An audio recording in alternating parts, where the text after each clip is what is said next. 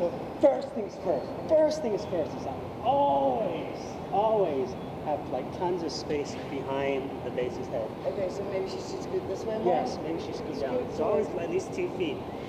I say Yeah. two feet from the concrete. That's Okay.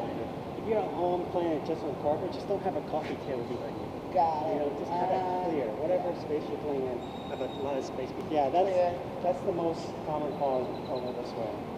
So you're coming. This is a real common fall. Coming head over heels, the base holds onto the hand, and, And so the you player doesn't have anything to protect with it, and like eats it with their face. Right.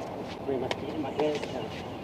Okay. Simple. Is there So yes, as, as a base for, for any type of throwing stuff, I recommend that the, the base keeps their hands up.